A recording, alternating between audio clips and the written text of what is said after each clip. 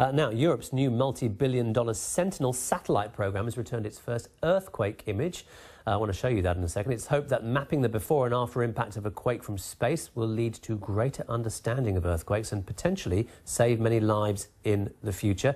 With me to discuss this development is the BBC Science correspondent Jonathan Amos. Jonathan, great to have you here. Uh, I want to talk about this incredible image, actually, behind us. What are we looking at there? It's a pretty picture, isn't it, Rajesh? This is the, uh, the Napa Valley uh, region of uh, the northern end of San Francisco Bay, and uh, it looks kind of like, uh, I don't know, the bubbles in a washing up liquid bowl, doesn't it? You get this pretty uh, rainbow refraction effect. of light effect Yeah, almost, yeah, yeah. What it's actually showing us is the amount that the ground moved during the quake just over a week ago.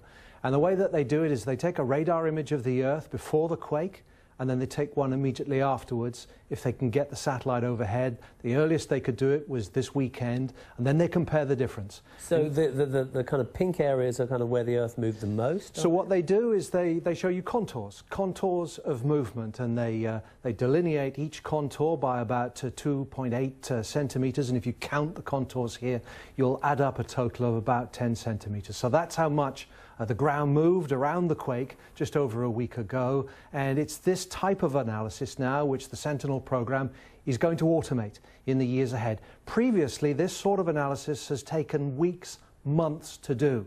Uh, the new satellite system that the EU has put up is going to pop these out within a few days of every earthquake, and it's going to transform this area of study. So much more data available to scientists much more quickly. Um, what's it going to help them do? If you walk the fault, um, as many scientists have been doing in the last few days, you can see where the fault is exactly mm. on the ground because it buckles the roads, it snaps the uh, the curbstones. And we, California, the, the skateboarders have been out, haven't they, jumping over the ramps in the middle of the road. Now, California, to some extent, is a bad example of this technique because it's such an intensively studied part of the world for earthquakes.